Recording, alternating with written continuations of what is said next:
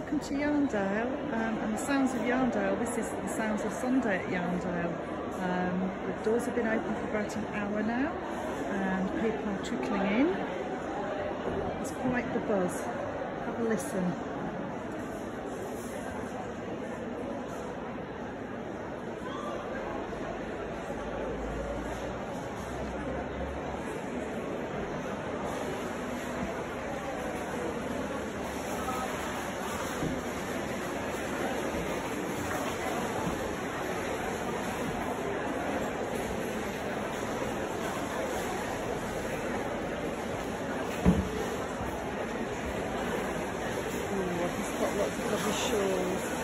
Crocheted cardigans and jumpers and knitted hats.